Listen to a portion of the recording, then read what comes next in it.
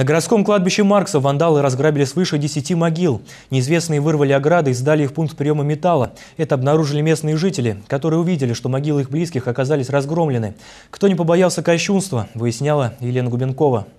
Это все, что осталось от старых захоронений на Марксовском кладбище. Местные жители, решившие почтить память близких, обнаружили могилы в таком виде. Оградки пропали, надгробные плиты перевернуты и сломаны. Он сначала даже не поверил, когда Сергею Кутунову, ответственному за городское кладбище, рассказали об акте вандализма, подумал, что это ошибка. Здесь давно не было ничего подобного. Увидел своими глазами и убедился. Оградки с могил действительно похитили неизвестные. Даже при беглом осмотре сразу видно, что вот эту ограду ее вырвали. Ее не демонтировали, ничего, ее просто варварски подошли и вырвали. Свидетели видели, как на территорию кладбища заехала «Газель». При этом машина снесла одну из могильных оград. Несколько мужчин буквально вырвали металлические решетки, погрузили их в «Газель» и уехали. Владимир об этом узнал через пару дней. Они с женой часто бывают на этом кладбище. Ухаживают за могилой деда, ветерана войны. В тот раз их ждал неприятный сюрприз. Ограда пропала вместе с остальными. Я вот в радиусе 40 метров не досчитался 12 оградок. Все со следами свежевырванных.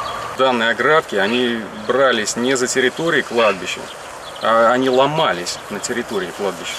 Он нашел их неподалеку. На пункте приема металла обнаружил десятки решеток. Среди них и ограда с могилы деда. Правда, ставить назад ее уже не будет. В руководстве кладбища пообещали вернуть могилам первозданный вид. Заявителями сейчас на данный момент, значит, э, решен вопрос о том, что мы силами значит, э, городских муниципальных услуг восстановим им ограду, э, выявляем значит, сейчас лиц, которые еще пострадали. Разграбленных могил может оказаться не один десяток. Родственники многих похороненных бывают здесь лишь на Пасху, а значит и обнаружат пропажу не скоро. На всех могилах, пострадавших от рук вандалов, обещают установить новые ограды. А самим неизвестным придется ответить перед законом. Благодаря свидетелям уже удалось установить круг лиц, которые могут быть виновны. Елена Губенкова, Алексей Фенин, РЕН-ТВ, Саратов.